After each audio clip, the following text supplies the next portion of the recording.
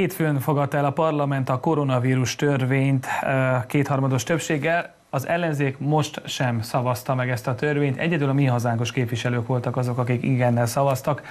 Miközben itthon az ellenzék folytatja ezt a fajta ellenállását. Ezzel ellentétben Európában több országban is összefogtak a különböző kormányok. Erről fogunk most beszélgetni a 21. század intézet vezető elemzőivel, Deák Dániellel. Üdvözlöm! Jó napot kívánok, köszöntöm a nézőket! Ugye tegnap megtörtént a szavazás, talán várható volt, tehát meglepetés nem történt a tekintetben, hogy az ellenzék hogyan reagált erre a törvényjavaslatra, de azért mégis egy kicsit beszélgessünk erről. Mi történt tegnap a parlamentben?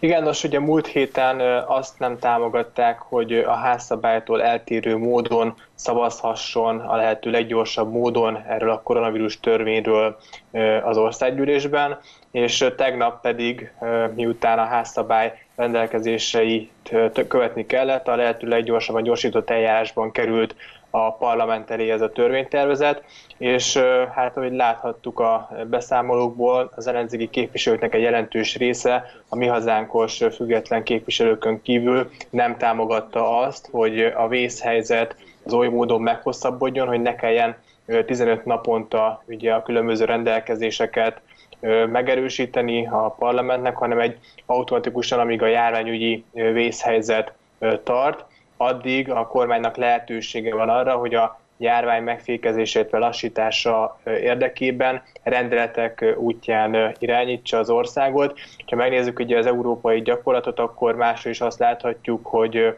ilyen helyzetben ha mondjuk monarchia van, akkor királyi dekrétumokkal, ahol köztársasági berendezkedés van, ott vagy a köztársasági elnök vagy a kormány azonnali törvényerejű rendeletekben kormányoz irányít, hiszen az ilyen helyzetben nagyon fontos, hogy rendkívül gyorsan, rendkívül hatékony módon lehessen döntéseket hozni, hiszen egy járvány idején nem csak egyik napról a másikra, hanem egyik óráról a másik órára tud változni a helyzet, tehát azonnali reakcióra van szükség, ezért kellett most ezt a felhatalmazást megadni a kormánynak.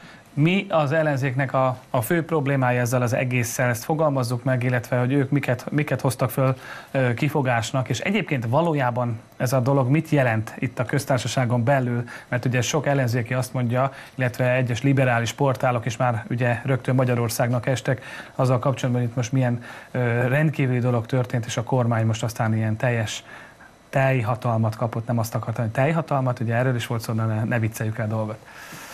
Igen, nos, tehát ugye több rétű az ellenzéki kritika. Az egyik kritika az az volt, talán momentumosok nevezték ezt a törvényjavaslatot diktátor törvénynek. Azt mondták, hogy olyan korlátlan hatalmat kap a kormány most a kezébe, amivel lényegében bármit megtehet az országban. Ugye ezt tegnap is a parlamenti vita során szálltalan alkalommal elmondták a kormánypárti képviselők, de hogyha jogászokat kérdezünk, ők is a törvény szövegéből ki tudják olvasni, hogy ez egyáltalán nem igaz, hiszen csak a járványügyi intézkedésekre vonatkozik ez a felhatalmazás, amit most a kormány megtett, tehát egyáltalán nem korlátlan, nem beszélve arról, hogy az országgyűlésnek továbbra is megvan a hatáskör arra, hogy ezeket az intézkedéseket visszavonják, illetve ott van az alkotmánybíróság, amely egyfajta kontrollként mindig nézi, hogy az egyes intézkedések összhangban vannak-e az alaptörvényel. A másik kritika pedig ugye az volt, hogy nem volt egy végső határidő beleírva ebbe a törvényjavaslatba, tehát nem volt mondjuk az beleírva, hogy 30 nap múlva ismét ezt az egész folyamatot előről el kéne kezdeni, tehát be kéne nyújtani az országgyűlésnek, és akkor ismét vita, ismét szavazás. Tehát, hogy ez az intézmény nem volt beletéve ebbe a törvényjavaslatba. Tehát ezt is szántan alkalommal én is elmondtam, de más szakértő elmondta, hogy nem lehet sajnos a jelenlegi helyzetben azt tudni, hogy a parlament az határozat képes lesz-e. Jó esetben a képviselőknek egy jelentős része karanténban lesz, rosszabb esetben akár kórházi ellátás is igényeltetik sok képviselőnél, tehát a legrosszabbra kell felkészülni, illetve benne van az is, hogy a járványhelyzet elmúlását követően ezek a rendelkezések automatikusan hatályokat vesztik, tehát egy fix, belátható időpont van korlátként megszabva. Tehát egyértelmű az, hogy ami most zajlik, az abszolút ellenőrzött, az abszolút kontrollált, és a demokráciának megfelelőképpen működik, tehát itt ilyen kifogásokkal jönni ugye felesleges is ebben az esetben, de ön adott ki egy, egy tanulmányt, illetve egy, egy olyan cikket azzal kapcsolatban, ahol példákat hoz, és ugye itt a felvezetőben említettem, hogy Európában több ország is, ahol sokkal súlyosabb politikai válságok vannak, mint nálunk, különböző etnikai vagy ugye politikai nézetre volt tekintet nélkül, összefogtak a pártok, tehát szélső bal, a szélső jobbal ebben a, ebben a helyzetben, tehát mondjunk akkor erre példát. Igen, tehát nagyon fontos, hogy ebben a helyzetben összefogásra van szükség a pártok között, és direkt olyan országokat vizsgáltam meg, ahol a politikai és etnikai törésvonalak sokkal mélyebbek, mint mondjuk Magyarországon. A legjobb példa talán Belgium. Belgium azon túl, hogy a pártok közötti megszokott, Magyarország és megszokott viták fönnállnak, egy nagyon komoly etnikai konfliktus is van. A flamandok és a valonok két külön etnikai csoport, köztük külön pártok vannak, különböző társadalmi megosztottságok uralkodnak, és ennek hatására például Belgiumban 2018 vége óta nincsen egy kormány, nem tudott a kormány megalakulni, mert akkor olyan mélyek a, az ellentétek a különböző pártok között, és még Belgiumban is a koronavírus járvány hatására ezeket a törésvonalak, ezek, ezeket a konfliktusokat elfették, és közösen lépnek föl a járvány ellen, ezért most egy válságkezelő kormányt tudtak közösen felállítani, amely hat hónapig királyi dekrétumokkal, tehát a parlament nélkül hozhat meg döntéseket, rendeleteket, tehát a magyarhoz hasonló módon fogják tudni irányítani Belgiumot, de ezen túl például nagyon jó példa a Spanyolország is, ahol a szélső jobb oldal is megszavazza a baloldali kormánynak a válságkezelő intézkedéseit, és most úgy tűnik, hogy például Izraelben is a napokban tető alá hoztak egy megállapodást, Izraelben az elmúlt időszakban három választást kellett tartani egymás után, mert a pártok nem tudtak megállapodni a kormányalakításról, és ebben az Izraelben is, hogy tényleg elképesztő ellentétek vannak a különböző politikai oldalak között, még itt is sikerült egy egységkormányt létrehozni, és mindegyik politikai fél arról beszélt, hogy a koronavírusra való tekintettel a megszokott, a hétköznapokban megszokott politikai ellentéteket félre kell tenni, és közösen együttműködve kell dolgozni azon, hogy a járványon túl legyen az ország. Tehát számtalan példát lehetne hozni még arra, hogy ellenzék és kormány együtt tud működni, és arra is nagyon jó példa Belgium, de Franciaország, de még Románia is, hogy hasonló módon a kormánynak, illetve a köztársasági elnöknek olyan felhatalmazást adnak ilyenkor a képviselők a parlamentben, amelynek köszönhetően hatékonyan tud védekezni a járvány ellen. Ha már itt, itt tartunk, és egy picit akkor újra hazai vizekre elvezünk, ugye a kettős mérce sokszor szoktuk mondani, amikor mondjuk a liberális vagy a baloldali politikusok vagy sajtó akár Magyarországgal foglalkozik. Hát most mi, mi a helyzet, ugye? Ahogy ez a törvény megszületett, már is a liberális baloldali sajtó támadja Magyarországot. Támadják a kormányt a helyi vagy a hazai ellenzéki politikusok, miközben ugye erről már beszéltünk, de Karácsony Gergely hasonlóképpen irányítja Budapestet. Ugye sokszor hangoztatták, hogy nekik nagyon nincs közük például Soros Györgyhöz, de mégis Soros György egy millió eurót adott Budapestnek. Szóval ezekről is egy picit beszéljünk a kettős mércéről. Igen, a kettős mérce az felelhető, és úgy tűnik, hogy nagyon sok ellenzéki véleményformáló például azon az állásponton van, hogy meg kellett volna szavazni ugye ezt a koronavírus törvényt az ellenzéki pártoknak is a parlamentben. Utalnék itt például Vona Gáborra vagy Schiffer Andrásra, akik elmondták az elmúlt Igen. napokban, hogy helytelenek tartják az ellenzéki pártoknak az ilyen jellegű magatartását. Itt azt látni kell, hogy van ezeknek az ellenzéki pártoknak egy nagyon masszív, összetartó vélemény buborékja, ahol különböző tanácsadók, véleményformálók folyamatosan arra sarkalják ezeket a pártokat, hogy egyfajta rendszer ellenes magatartást vegyenek föl.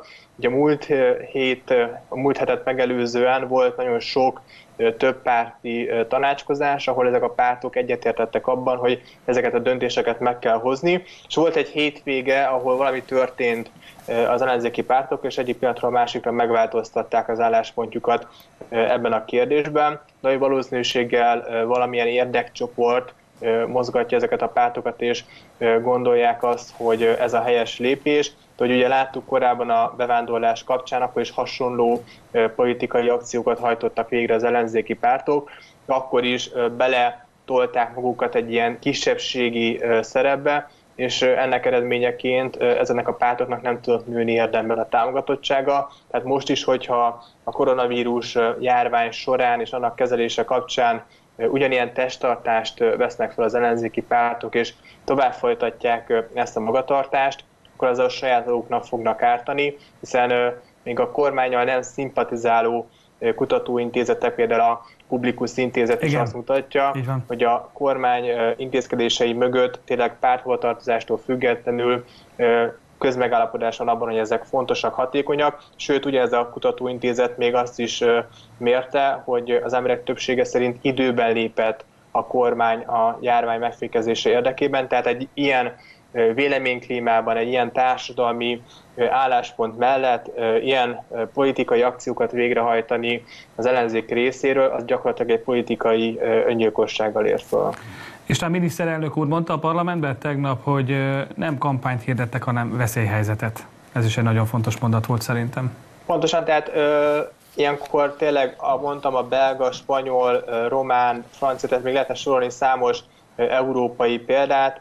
Ilyenkor a politikai haszonszerzésnek nincs itt az ideje, hiszen csak közösen lehet fellépni. Most láthatjuk, hogy az ellenzék nem működött együtt, tehát ezzel is egy héttel hátráltatták a járvány elleni védekezést, és olyan intézkedéseket, olyan döntéseket hozott meg a kormány, ami lehet, hogy például egy alkotmánybírósági tesztet nem állna ki, de most kényszerhelyzet volt, a tiszti főorvosnak, illetve más hatóságnak kellett meghozni azokat a járványügyi döntéseket, amelyeket ugye korábban a kormány a most lejárt rendeletekben megfogalmazott, de az most már kijelenthető, hogy a koronavírus törvény tenapi elfogadásával az ilyen ex-lex állapotoknak most vége lesz.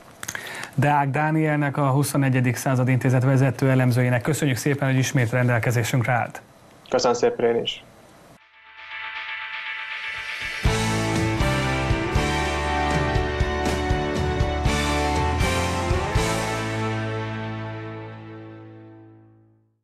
Közel fél milliárd forintból menthető meg az a különleges vízi világ, ami Esztergom szomszédságában a Táti Dunapart mentén fekszik, az a szigetcsoport, a Táti szigetcsoport, ahol egyébként számos faj, ö, védett faj él, és ennek köszönhetően, ennek a fejlesztésnek köszönhetően természetesen biztonságban is maradnak majd az elkövetkezendő időkben és a jövőben. Köszöntöm a vonalban Rácz András államtitkár volt, a környezetügyért felelős államtitkárt és Agrárminisztériumtól. Köszönöm, köszönöm, hogy itt van és rendelkezésünkre áll. Államtitkár úr, ez ugye már azért lassan majdnem két éve zajló folyamat, és most már elérkeztünk ahhoz konkrétan, hogy ugye azt is mondhatjuk, hogy ez a projekt talán be is fejeződött?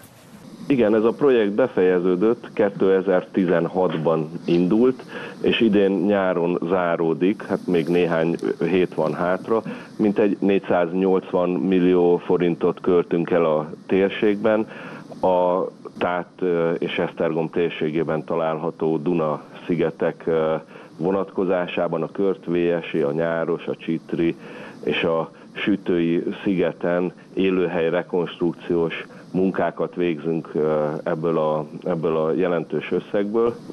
Hát ezek a Duna-szigetek mindig is jelentős szerepet töltöttek be, nem csak a folyó élővilága, hanem a környezetében élő embereknek a, az életében is. Az élővilág számára menedéket, szaporodó, táplálkozó területet jelentettek, illetve a viszonylagos zártságuk hozzájárult ahhoz, hogy ritka fajok is megmaradjanak, vagy megtelepedjenek itt. A helyi lakosság pedig az évszázadok alatt a szigetek nyújtotta előnyöket kihasználta, legeltetett, kaszált, és ezzel segített megőrizni a gyepeket és az élőhelyeket.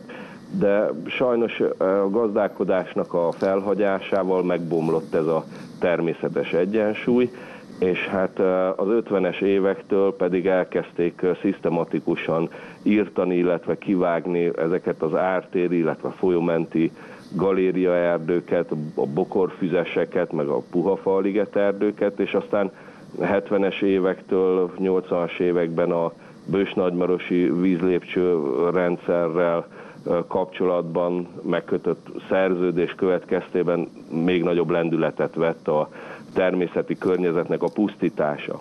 Tehát azért volt szükség erre a, erre a komoly élőhely rekonstrukciós munkára és magára a védetté nyilvánításra is, hogy ezeket a múltban okozott károkat visszafordítsuk. Egyébként ugye itt a Dunakanyar kapujába vagyunk tulajdonképpen, ezt említhetjük, és nagyon fontos az, hogy ezek a területek megmaradnak és védelem alá kerülnek. Ezt ön el is mondta most. És egyébként, hogyha már itt tartunk, itt a környéken is meg talán tudnánk példákat mondani, de országos és talán vagy 30 milli, 38 milliárd forintot költenek hasonló ö, ö, védelmekre, környezetvédelmi beruházásokra? Igen, kifejezetten természetvédelemre és élőhelyrekonstrukcióban ebben az uniós ciklusban 36-38 milliárd forintot költöttünk. Ez közel 100 projekt megvalósítására volt elég országszerte, és mintegy 100 ezer hektáron javítottuk a természeti környezetnek az állapotát. Ebből a Tát és Esztergom környéki szigetek ennek a négy szigetnek a területe 300 hektárt képvisel. Ez óriási. Jó, hogy ebben a vérzivatalos időszakban azért ilyenekről is tudunk beszélgetni. Ha már itt tartunk, egy picit ezt nyilván érintve csak ö, súrolva, hogy most azért talán nem tudjuk annyira élvezni. Bár a szabadba nyilván ha el vagyunk szeparálva egymástól, talán ki lehet menni, de egy kicsit várni kell arra, hogy ezt a szigetvilágot felfedezhessük. Hát szeretném mindenképpen megerősíteni, hogy a járvány végeztével szeretettel várjuk az érdeklődőket, a látogatókat az összes hazai nemzeti parkban, nem csak a Dunai Poly Nemzeti Park igazgatóság bemutató helyein, ahova a terület tartozik. A járvány idejére sajnos a programjainkat fel kellett függesszük, de a hazai nemzeti park igazgatóságok a mára-mára magyarországi ökoturizmus legnagyobb letéteményesei, körülbelül 700 ökoturisztikai létesítményt tartunk nyilván Magyarországon. Ennek felét mintegy 350-et valamely nemzeti park igazgatóságunk üzemelteti. És természetesen itt a Esztergom térségében található szigetek tekintetében is ugye a legfontosabb természetvédelmi célkitűzések a mocsárrétek fenntartása, a védett növények, például a, a szibériai nőszirom, meg a mocsári aggófű megőrzése, a védett állatok életfeltételeinek a biztosítása, itt van fekete gólya, rétisas, haris, e, de ezek mellett egy nagyon fontos cél a terület természetvédelmi célú bemutatása, tehát a tanösvények üzemeltetése, a látogatók e, fogadása, e, hiszen csodálatos élővilággal rendelkeznek ezek a szigetek, például a szitakötő faunájuk nagyon jelentős, 17 faj szitakötőfaj lehet itt megfigyelni.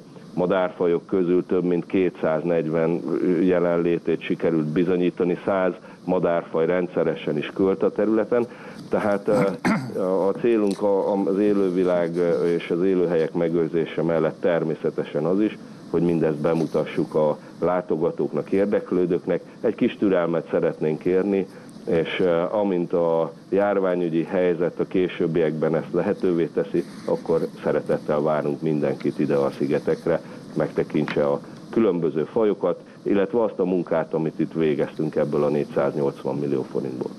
Rácz Andrásnak, környezetügyért felelős államtitkárnak nagyon szépen köszönjük, hogy rendelkezésünkre állt. Én köszönöm a lehetőséget.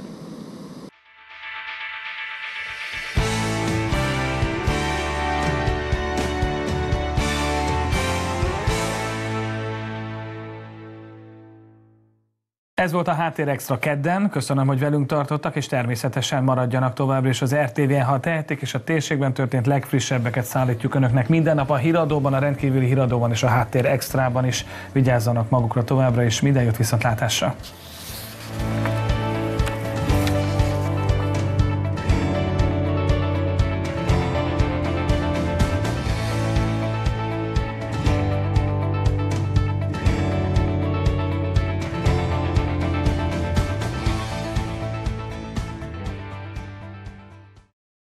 Készült a Médiatanács támogatásával a Magyar Média Mecenatúra program keretében.